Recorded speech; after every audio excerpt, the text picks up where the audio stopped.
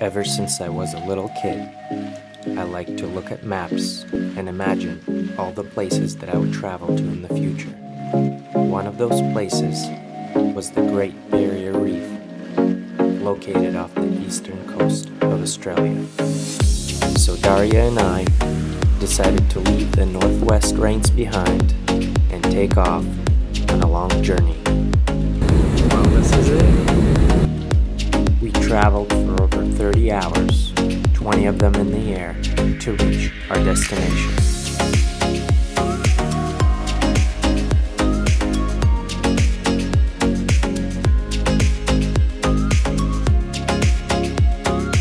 We're finally here. We're in a little town called Airlie Beach, and we're taking off for the Great Barrier Reef this morning.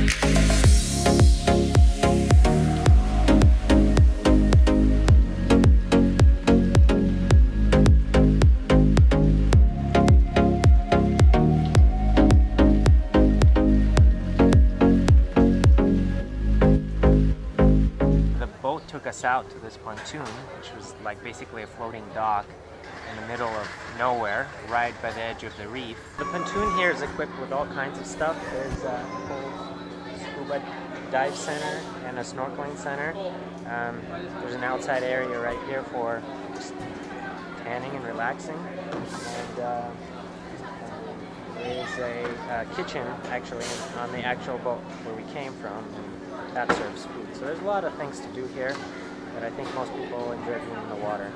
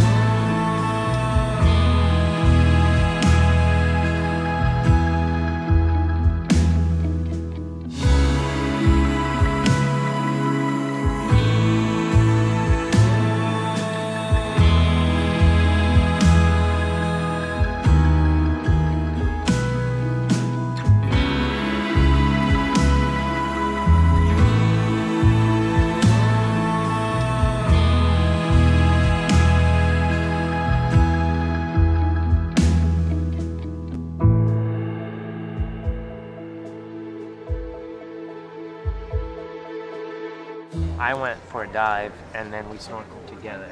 And we, that was fun. We always love snorkeling together and showing each other, you know, pointing out certain things in the water.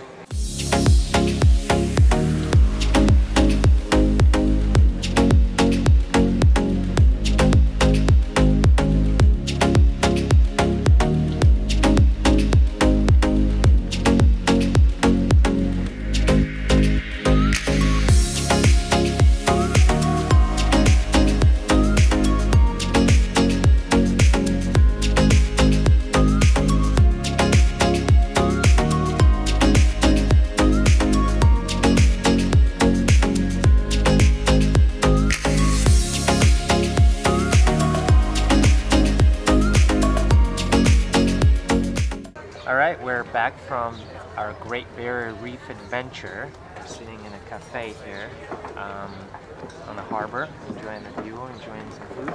I think the highlights for me were seeing just so many different types of fish and seeing the reef and how it lives and how it breathes all the coral. Um, the beautiful thing is it's the reef has grown so much up that it's very close to the surface. So when it's sunny, it's illuminated and so bright.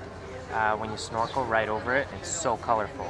It's the most colorful snorkeling place that I, have ever been to.